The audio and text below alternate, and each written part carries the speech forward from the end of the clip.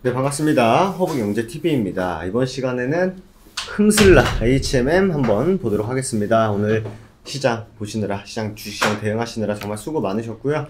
HMM 한번 보도록 하겠습니다. 저희도 텔레그램 어, 꼭 들어와 주시고, 카카오톡 친구 추가, HBTV1004로 친구 추가하시면, 어, 하신 다음에 메시지 한번 남겨주시면 저희가 친구 추가 확인해서 좀 도움되는 정보들 많이 드리, 보내드릴, 보내드리고 있으니까 꼭 친구 추가 한번 해주시고요. HMM 오늘도 오전에 이슈가 하나 나왔습니다. 초대형 20척, 초대형선 20척 누적 운송량이 300만 TU를 달성했다. 컨테이너 한 개급 12개랑 어, 밑에 자세하게 나오는데 어, HMM의 배에 대해서 먼저 어, 일전에도 설명을 드렸었는데 뭐 HMM을 주가가 빠질 때 HM 주가가 빠질 때 이거 HMM 별안 좋은 기사 나올 때 했던 얘기가 뭐냐면은 어, 다른 해운사들은 굉장히 좀 투자를 하면서 배들을 이렇게 하고 있는데 HMM은 그 숫자가 너무 적은 게 아닌가라고 얘기가 나왔었죠.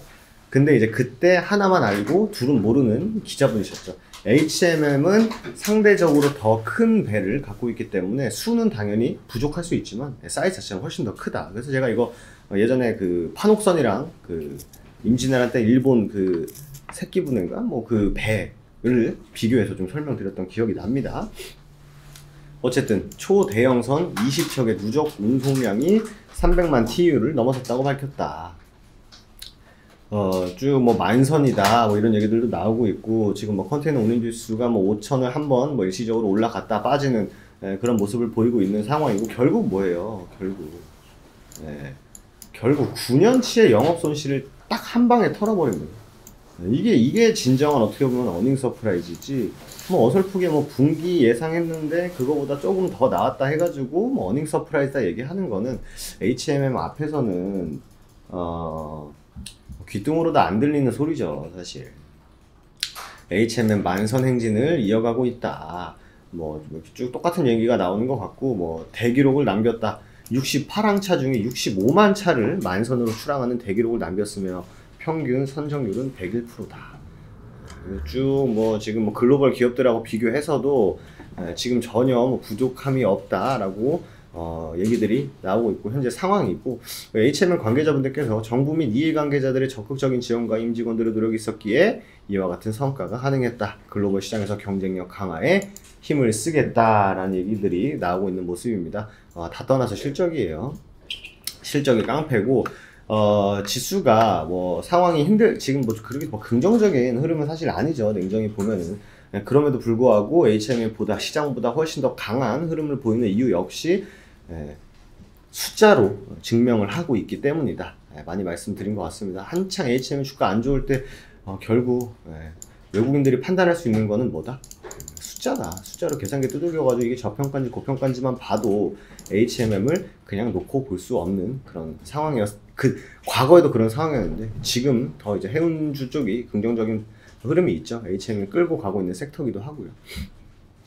어, 미주 서안의 항만 적체가 정점을 지나고 있고, 뭐 쭉쭉쭉 뭐, 운임 지수도 조정을 어, 별로 안 받았다 이거죠. 그리고 병목 현상이 정상화되려면은 아직 시간이 더 남았다. 그럼 이거는 반대로 말하면 HMM에게는 계속적으로 먹거리를 제공해 줄 수 있는 어, 그런 어, 대외적인 상황이다라고 보시면 될 것 같습니다. 뭐 물동량 증가 속도보다 운임 하락 속도가 더 빠를 가능성이 크죠. 뭐, 뭐 이건 이해할 수 있죠. 워낙 이렇게 올랐으니 이렇게 와가지고 이루 고 있으니까.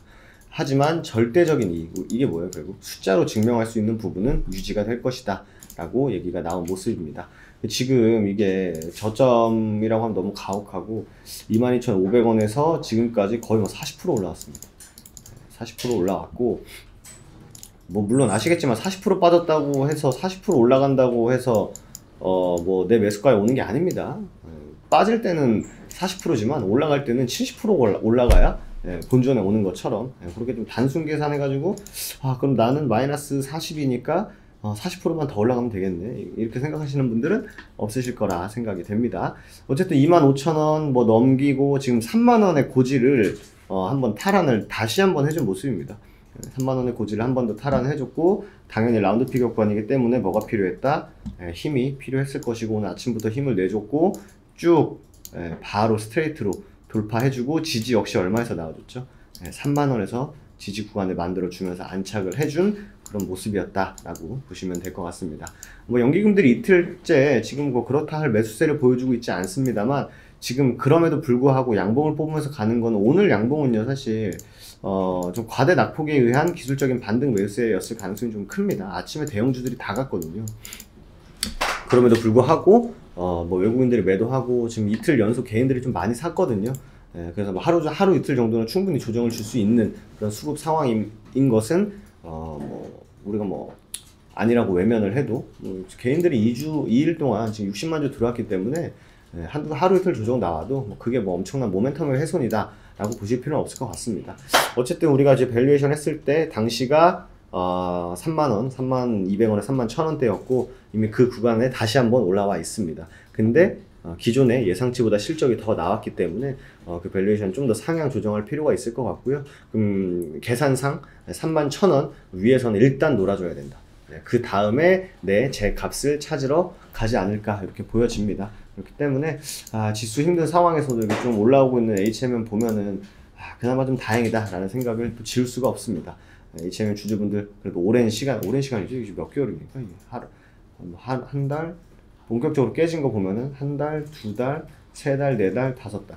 거의 뭐 5에, 5에서 6개월 동안 좀 힘든 상황 보내다가 딱 한 달 만에 이제 이거를 한 달도 안 걸렸죠.